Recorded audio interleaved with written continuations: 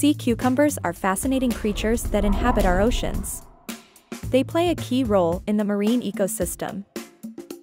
These invertebrates can be found in almost every marine environment, from shallow to the deep sea. They're truly versatile. Despite their name, sea cucumbers are animals, not vegetables. They're echinoderms, related to sea stars and urchins.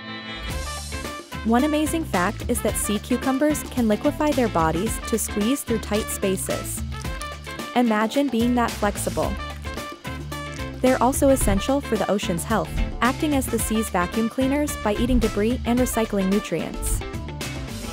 Interestingly, some species of sea cucumbers have a unique defense mechanism.